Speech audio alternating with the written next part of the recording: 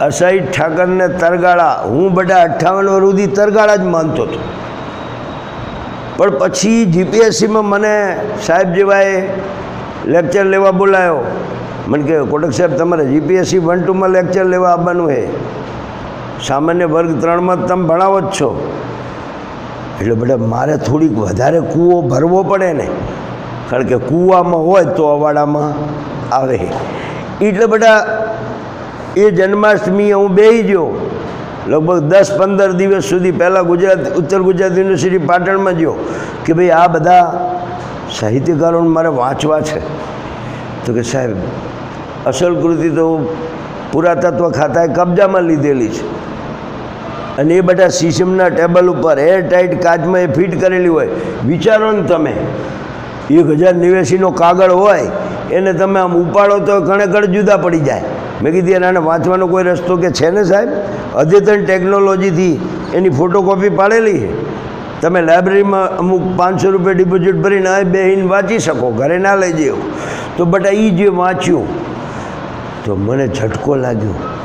અસાહિત ઠાકર, તરગાળા નથી. ઔદિચ્ય સહસ્ત્ર બ્રાહ્મણ છે. ઔદિચ્ય સહસ્ત્ર બ્રાહ્મણ. પછી મારે એને ડીપમાં જોવું પડ્યું. તો બેટા બ્રાહ્મણોની પણ આવી પંદર સત્તર પેટા જ્ઞાતિઓ હોય. એમાં સૌથી જે ઊંચા છે એ આચાર્યો, જે દેવો ગંધર્વોની સારા માટા પ્રસંગની વિધિઓ કરાવતા હોય. આ ઔદિચ્ય સહસ્ત્ર બ્રાહ્મણ છે એ તરગાળા કોમની સારા માઠા પ્રસંગની વિધિઓ કરાવે. દાખલા તરીકે આપણા ઘરે પરણાવા આવે.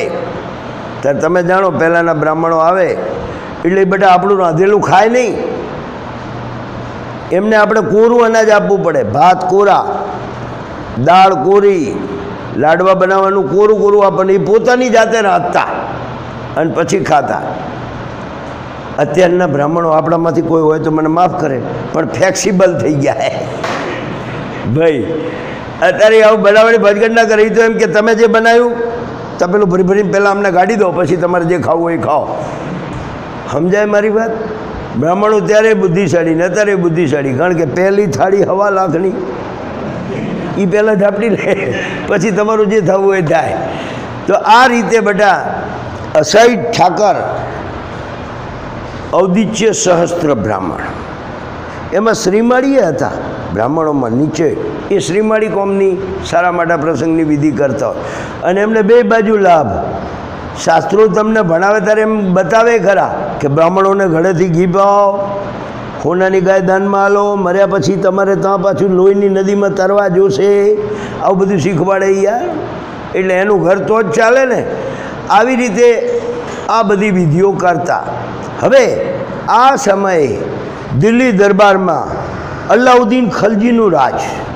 અને અલ્લાઉદ્દીન ખલજી મહત્વાકાંક્ષી રાજા હતો બધા એ શું કરે? બે સરદારો નીમે, એની જોડે લાખ દોઢ લાખનું લશ્કર મોકલે ને કે, જાઓ, ગુજરાત જીતી આવો.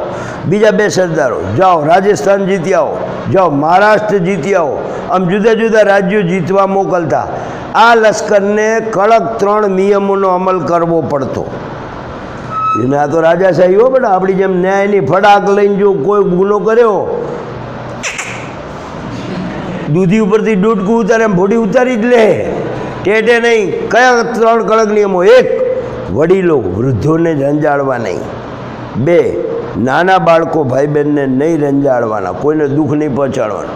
હા, બ્રાહ્મણનું અને તમે જાણો મુસલમાનમાં ગુરુવારે જુમેરાતના દિવસે જે આપણા બ્રાહ્મણોની જેમ માગવા જતા હોય, એ ફકીરોના ઘરને લૂંટવાનું નહીં, એની બેન દીકરીને અડવાનું નહીં.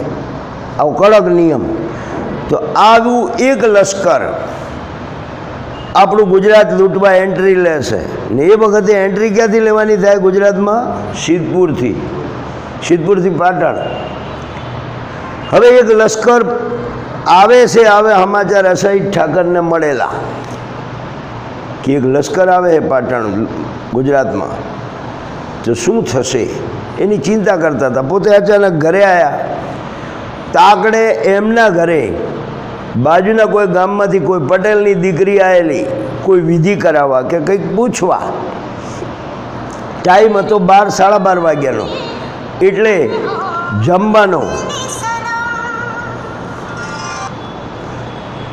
જમવાનો ટાઈમ એટલે આણે કાંઈ પણ વિચાર્યા વગર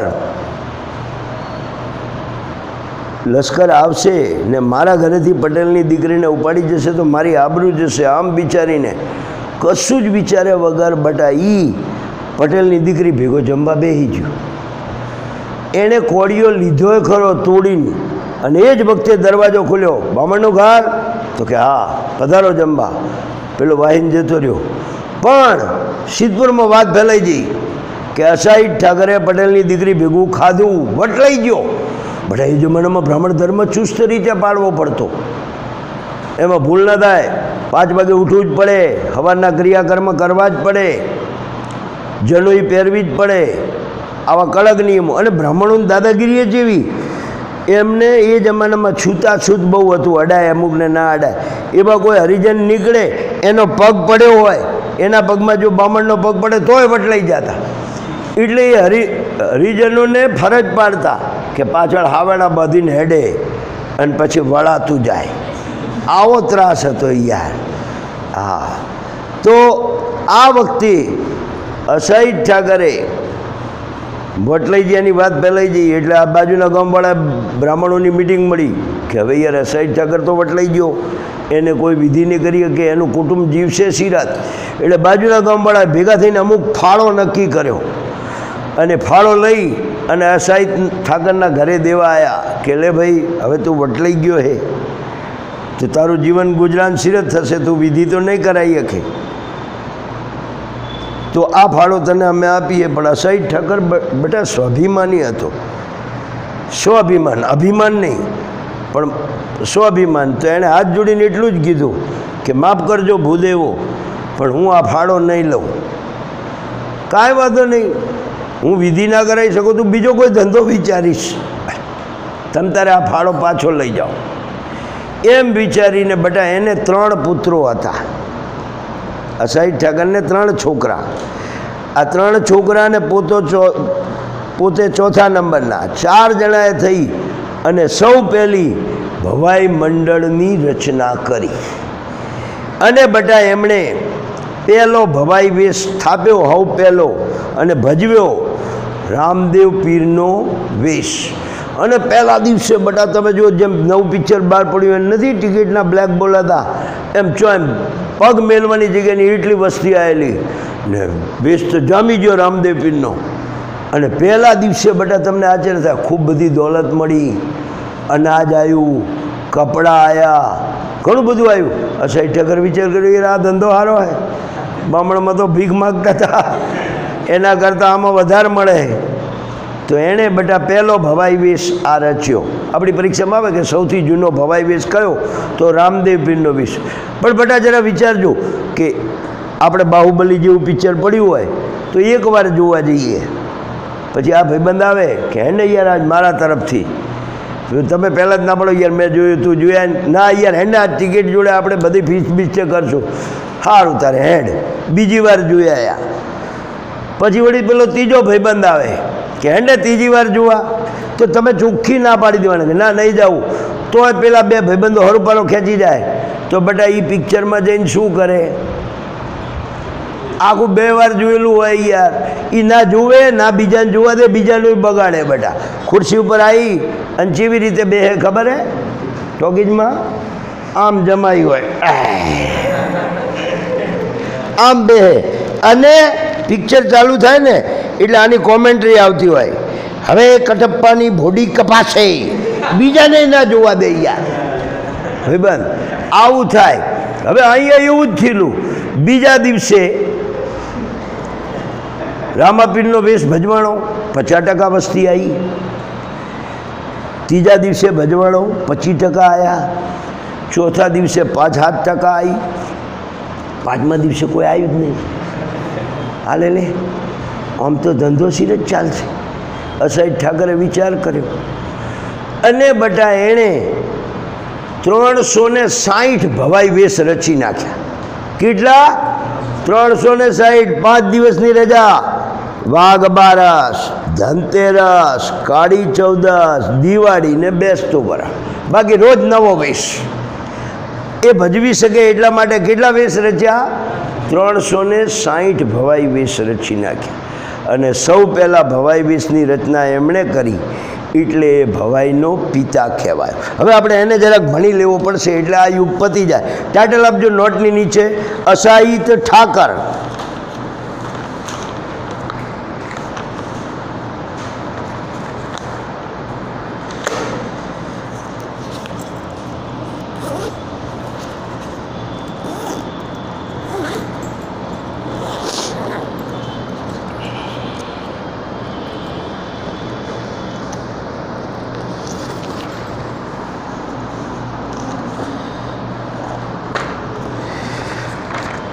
અસાહિત ઠાકર માટે કરીને આપણે પહેલાં તો ટાઇટલ આપી દો અસાહિત ઠાકર, પછી જન્મ સ્થળ સિદ્ધપુર,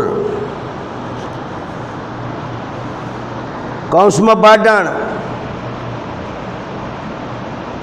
તખલ્લુસ તખલ્લુસ એટલે ઉપનામ, ભવાઈના પિતા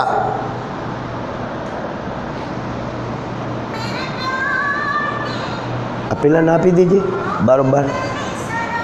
કે એને કહી દે કે હમણાં ઉપાડે નહીં અથવા કહી દે સાહેબ લેક્ચરમાં હે લેક્ચરમાં એમ કહી દેજે, જે હોય ઉપાડીને હા બેટા. શું લખાયું મેં?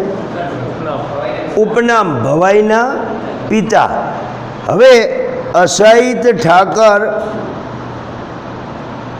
પહેલો મુદ્દો ડેશ કરીને લખજો. અસાહિત ઠાકર સિદ્ધપુરના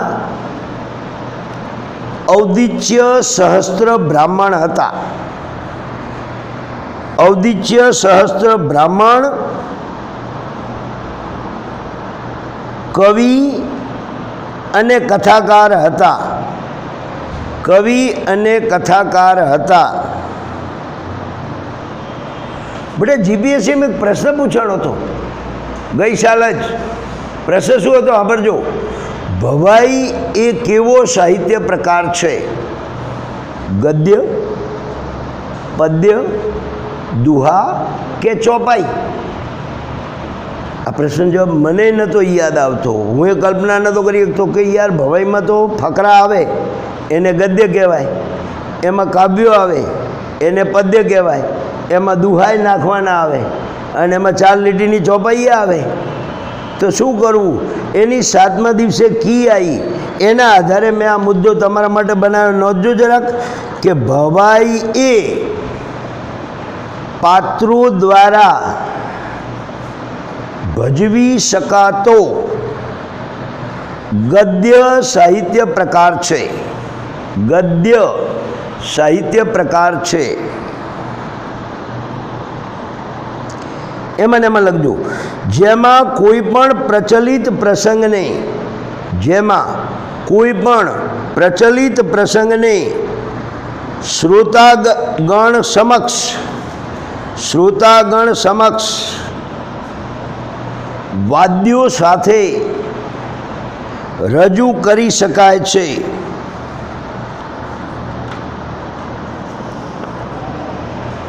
ડેશ, ભવાઈમાં સ્ત્રી પુરુષ સ્ત્રી પાત્ર. ભવાઈમાં સ્ત્રી પાત્ર પુરુષો ભજવતા.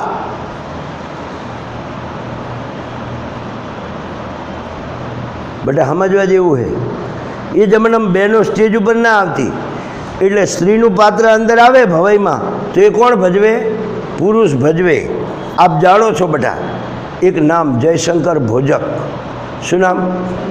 જયશંકર સુંદરી કહેવાય છે. અને આશ્ચર્ય થાય એવી વાત કરું, જયશંકર ભોજક બાર વર્ષના હતા ત્યારથી નાટકોમાં ભવાઈમાં સ્ત્રીનો રોલ જ ભજવતા. અને આશ્ચર્ય થાય એમણે વાળ પણ એટલા વધારેલા, રીસર ચોટલા લે. પેલો ચીપિયો ગરમ કરીને બધા લટ કાઢે, લાલી લિપસ્ટિક કરે.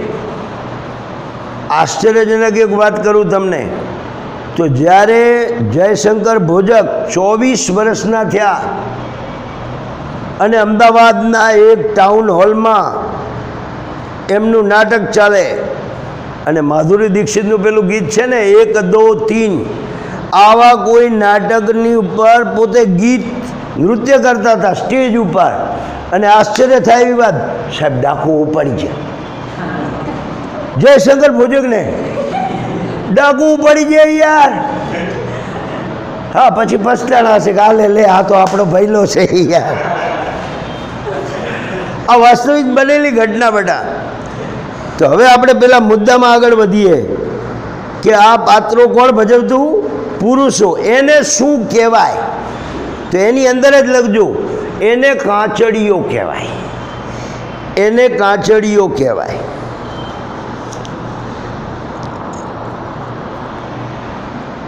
ડેશ. કાંચડીઓ કહેવાય. હવે પેલો મુદ્દો જરાક તમને યાદ તો રહે, મેં મોઢે વાત કરી છે, છતાં બે લીટીમાં લખાઈ દઉં કે દિલ્હી સલ્તનતના બાદશાહ. દિલ્હી સલ્તનતના બાદશાહ અલ્લાઉદ્દીન ખલજી. અલ્લાઉદ્દીન ખલજી ના બે સરદારોએ લશ્કર સાથે ગુજરાત પર આક્રમણ કરતા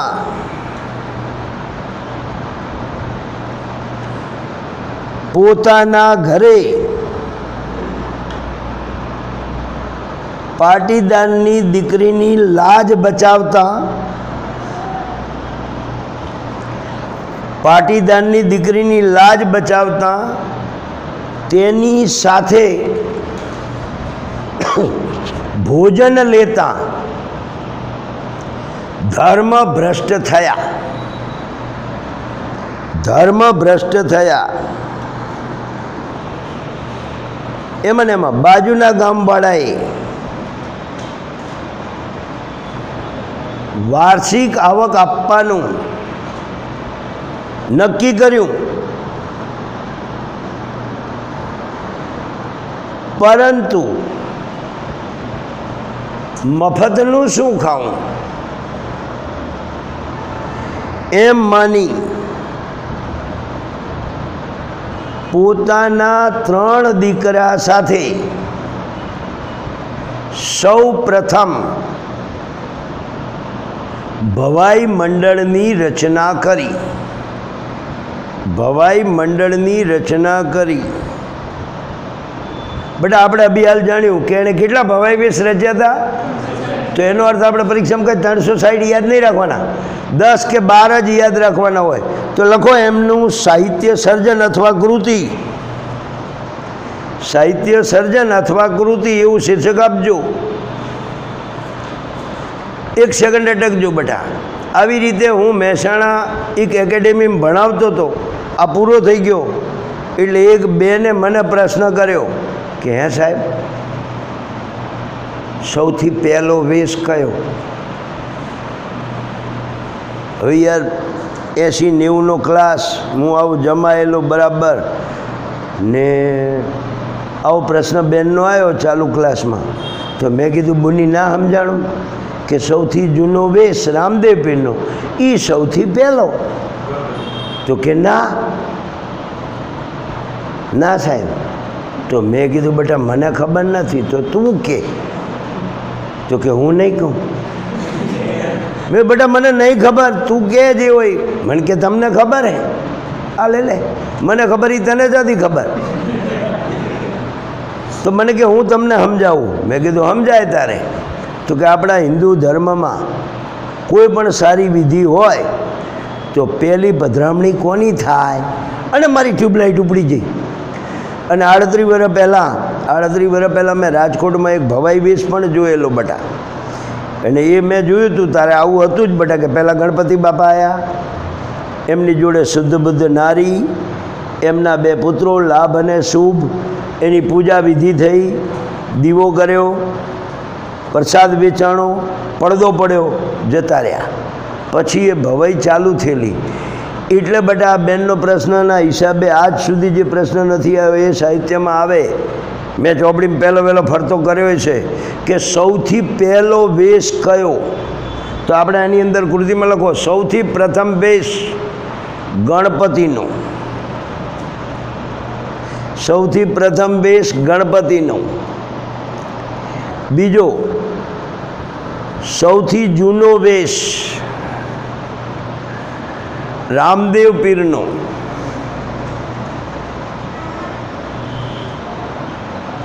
પછી લખજો, સૌથી હાસ્ય રસિક વેશ. હાસ્ય રસિક વેશ. રંગલા રંગલીનો. રંગલા રંગલીનો. પછી બીજા આપણે આ પાંચ સાત નોંધી લો. જસમા ઉડાણ પછી વેશ બેસ લખવાની જરૂર નહીં, ખાલી ડેશ ડેશ કરીને લખો ને. મણિયારાનો જૂઠાણ, છેલ બટાવ, રાજા દેધાણ. કેટલા થયા બટા, જુઓ તો. કેટલા થયા? આઠેક થયા ને? દસેક કરો ને, કજોડાનો વેશ. કજોડાનો વેશ, અડવાનો વેશ કજોડાનો વેશ, અડવા, અડવાનો વેશ. પછી પતઈ રાવળ આવી ગયો. પતઈ રાવણનો વેશ, કાન ગોપીનો વેશ, કાન ગોપીનો વેશ. ઓકે બટા, પ્રારંભિક યુગ પૂરો. તમે આજ ભણી રહ્યા. છેલ્લે છેલ્લે તમને એની વાત કરી લઉં. આ ભવાઈની. તો અંદર મેં તમને લખાયો ખજોડાનો વેશ. આ બે દિવસ ભજવાય. પહેલા દિવસે ચોવીસ વર્ષનો હીરો હોય. અને એની બહુ કેવડી હોય ખબર પાંચ વર્ષની. આવડી નાની ઢેંગલી જેવી લાવે પાછી સ્ટેજ ઉપર. અને લાજ કાઢીને કે સાંભળ્યું કે? આ બોલે એમ કરીને હાસ્ય પેદા કરતા. બીજા દિવસે ખજૂરાના વેશમાં વીસ, એકવીસ વર્ષની યુવતી હોય અને એનો વર હોય ચાર વર્ષનો આમ કેળમાં તેડીને આવે. આ અમારા ઈ. આ અમારા ઈ. એમ કરીને બધા સોલેડ હાસ્ય કરે. હવે મેઇન વાત એક કરી લઉં કે મેં રાજકોટમાં જે ભવાઈ વેશ જોયો, એ હતો બટા અંદર મેં તમને લખાયો એ જસમા ઉડણનો વેશ. હવે એમાં મેં તમને પહેલો સીન તો બચાવી દીધો કે ગણપતિ આવ્યા જતા રહ્યા.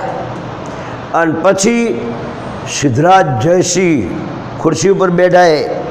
જો સ્ટેજ ઉપર. સિદ્ધરાજ જયસિંહ, હાથમાં તલવાર, એનો દરબાર ભરેલો અને ચર્ચા કરતા હતા જાહેરમાં કે ભાઈ આપણે પાટણમાં, ભવિષ્યમાં પાણીનો પ્રશ્ન ના થાય એટલા માટે સહસ્ત્રલિંગ તળાવનું ખોદકામ કરવાનું છે. રાણકી વાવનું ખોદકામ કરવાનું છે. માટે મજૂરો ક્યાંથી બોલાવવા? એટલે પછી દરબ અંદર બેઠેલા દરબારીઓમાંથી એક બે જણ ઊભા થઈને કે, સાહેબ, આપ નામદાર, ઈડર બાજુથી બોલાવો. ત્યાંના મજૂરો ખડતાલ હોય છે. બીજો વળી એમ ઊભો થઈને કે, ના બાપુ, આપણે કાઠિયાવાડથી બોલાવો. સૌરાષ્ટ્રના મજૂરો બહુ સારા હોય છે.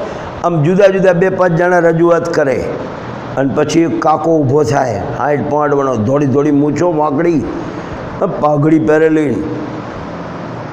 આમ હાથ જોડીને કે, બાપો, મહારાજ, આપણે જો તળાવ ખોદાબવું જ હોય અને રાણકી વાવ ખોદાબી હોય તો મજૂરો રાજસ્થાનથી મંગાવાય. ઉડ નામની પ્રજા બહુ ખડતાલ હોય છે. અને આપણું કામ બહુ સરળતાથી પાર પડશે. રાજાએ વિચાર કર્યો કે અનુભવી માણસ છે, બધાની સલાહ લીધી. તો કે હા, એ બાપાની વાત સાચી છે. તો નક્કી થયું કે ભાઈ, રાજસ્થાનથી ઓડ નામની પ્રજાને બોલાવી, એના માટે ઘોડે સવારો રવાના કરી દીધા. રાજા હુકમ આલે, ચલે, પ્રધાનજી તો પાછી વળી પેલી થોડી બે લીટી આજે પ્રધાન રાજા બોલાવે, પ્રધાન આવજો રે, ને આવું બધું લાંબુ લાંબુ કરે. હું તમને શોર્ટમાં બતાવું છું. પ્રધાનજી એમ કે, હુકમ આલો અને માણસો મોકલી દો. રાજસ્થાનથી મજૂરોને બોલાવે. પછી પડદો પડે અને પછી જ્યારે પડદો ઉઘડે બટા, એટલે આ બાજુથી એન્ટ્રી થાય. એક માણસ હોય ફૂંકફૂંકતા વાળ, આખા શરીર માટીવાળું. કપડાં એવા મેલા ઘેલા, ખભે પાવડો હોય, એની જોડે એનું બૈરું હોય, એક છોકરું આદમીએ પકડેલું હોય, બૈરાએ છોકરું તીડ્યું હોય, બે ત્રણ બચ્ચે લુગડા પહેર્યા વગરના એ કરતા હારે આવે અને એ પસાર થાય. પછી બીજો આવે, આવી રીતે બીજો, ત્રીજો, એમ આઠ નવ જણને પસાર કરે અને દસમા નંબરે બધા મેઇન જે ઓડ છે એ આવે, રૂડિયો નામનો ઓડ. તમને રૂડિયો બતાવું. તો ઋત્વિક રોશન જોઈ લો. બોડી એવી ખડતલ ઋત્વિક રોશન જેવી. વાળ ફૂંક ફૂંકતા ઓય લાલ કપડું બાંધેલું ખભા ઉપર કોદારીને પાવડો ઓય બાંડિયું પહેરેલું. એમાં બારીઓ ખરી હો એટલે ફાટેલું. દરવાજા. ધોતિયું આટલે સુધીનું પગ ગાળાવાળા અને એન્ટ્રી થાય. એટલે બધા થોડાક આશ્ચર્યથી અધ્ધર થઈને જોતા હોય. અને પછી બટા દસમા નંબરે એન્ટ્રી થઈ. જસમાની. સાહેબ, મારા હાડુભાઈ જોડે હું ત્યાં બેઠેલો, રાજકોટમાં જોઉં. હું તો નાસ્તો કરવામાં પડ્યો હતો. કંઈક એમણે વડાપાઉં કે એવું કંઈ મંગાવ્યું હશે તો. તો મારું તો ધ્યાને નહોતું ને આવી ચીચિયારીઓ સીટીઓ એટલી બધી પડી મેં પૂછ્યું રમણીકલાલા કોણ? મને કે નરેશ કુમાર જસમાં આવી એટલે બધા એન્ટ્રી જોઈ. મને અત્યારે એ તો યાદ નથી કે પુરુષ હતો કે સ્ત્રી હતી. પણ આ હતા લેડીઝનો ડ્રેસ પહેરીને. પણ બધા એનું ઓરિજિનલ સાહિત્ય જે મેં ફેદ્યું એ, એમાં એવું લખ્યું હોય કે જસમા એટલી રૂપાળી હતી. એટલી રૂપાળી હતી. એટલી રૂપાળી હતી કે પાણી પીવે ને તો એમ થાય, દેખાય કે જો આ પાણી જાય. ગળામાંથી. એટલે કાચની મૂર્તિ જોઈ લો, કચકડાની મૂર્તિ. આટલી રૂપાળી, એટલે આટલી બધી સીટીઓ પડેલી બધા અને હકીકતમાં વાસ્તવિકતા કોઈ પણ લાલ લુગડું ભારે, એટલે બોતેર વર્ષનો ડૂહો હોય ને બધા દાંત બાંત ખખડી ગયો અને તોય ટટી હલો હો હો હો આમ. એમ આ જશ્માની એન્ટ્રી થઈ, સાહેબ, સિદ્ધરાજ જયસિંહ તો સીધો તલવાર લઈને આમ ઊભો રહ્યો. રૂડિયા, આજથી જશ્મા મારી. તને હું બીજી પરણાવી દઈશ.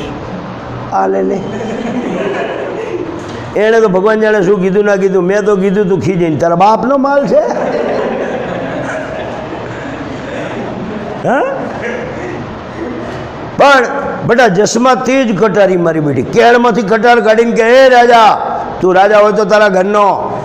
મારો પતિ મારો રૂડિયો જ રહેશે. કામ હાલવું તો હાલ નહીં તારા હેડ્યા.